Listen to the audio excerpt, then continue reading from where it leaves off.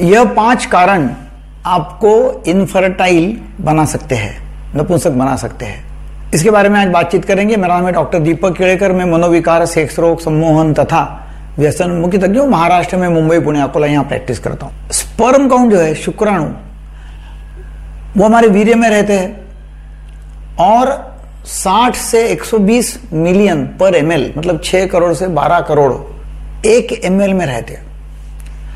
कम से कम 15 करोड़ होना ज़रूरी है ताकि बच्चा पैदा करने में प्रॉब्लम नहीं आएँगे। मतलब बच्चा यदि होना है, फर्टिलिटी यदि चाहिए तो मिनिमम 15 करोड़ तो होना ही होना है। उसके ऊपर कितने भी रहते भी चलते और स्पर्म को जो टेम्परेचर चाहिए, वो बॉडी टेम्परेचर से थोड़ा कम चाहिए। जैसा बॉडी टेम्परेचर हमारा 37 डिग्री सेल्सियस है। तो उसको चाहिए 34 35 चौतीस, पैंतीस। तो इसलिए फिर वो बॉडी से जो वृषाणु है, वो दोनों नीचे लटके हुए हैं, जिसमें मतलब दो वृषाणु है और उसमें फिर स्पर्म की पैदाइश होती है। अब ऐसा है कि स्पर्म की टेस्टिंग करना है मतलब सीमेन की टेस्टिंग करना है। तो सही टेस्टिंग आने के लिए कम से कम बहत्तर घंटे पहले सीमेन का इजैकुलेशन मतलब सीमेन बाहर निकलना नहीं चाहिए। मतलब तीन दिन पहले ना सेक्स किया हुआ रहना चाहिए, ना इजैकुलेशन होना चाहिए या सीमेन बाहर नहीं निकालना चाहिए। बहत्तर घंटे टेस्टिंग के पहले वो सीमेन आपके पास में जमा होना चाहिए या उसके पहले नहीं करना चाहिए। ये पहली शर्त है। क्योंकि यदि वो पहले ही समझो, एक ही दिन पहले क्या होगा और बाद में टेस्टिंग के लिए सीमेन गया तो उसमें शुक्राणु कम मिल सकते हैं। फिर दूसरा शारीरिक बीमारी यदि है, बदन में कोई ना कोई बीमारी है, बुखार आया हुआ है या फिर कोई मतलब गलथान हुआ है, बदन, या और कोई बीमारी है, उसकी वजह से भी शुक्राणु की संख्या कम हो सकती है। इसके अलावा हम पाँच कारण देखेंगे कि वो कौन से है कि जिसमें, जिसके वजह से आपको शुक्राणु की संख्या सीमेन में मतलब धातु में कम निकलेंगी।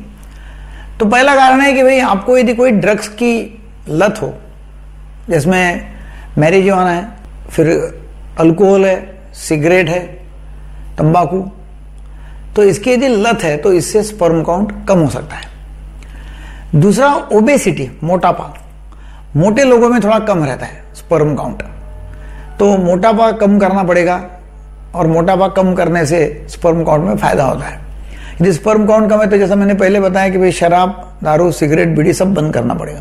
तो पहला है ड्रग्स या शराब, दूसरा है कि मोटापा। तीसरा जो है, वो है तनाव।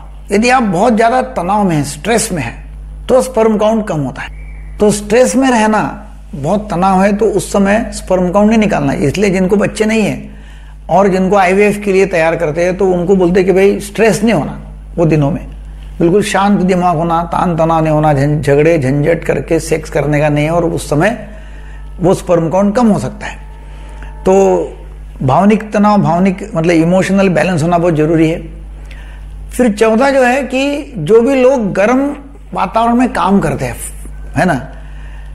तो मतलब सेगड़ी के पास में या जो भी लोग ये है आ, कुक है बर्नर गैस शेगड़ी बड़े बड़े भट्टी के पास में काम करते हैं बहुत ही हिट में काम करते हैं तो उनको स्पर्म काउंट कम हो सकता है। जैसे ट्रक ड्राइवर है तो वहाँ जो सीट पे बैठे वहाँ बहुत गर्म हो सकता है और वो काफ़ी घंटे तक ट्रक चलाते रहते हैं।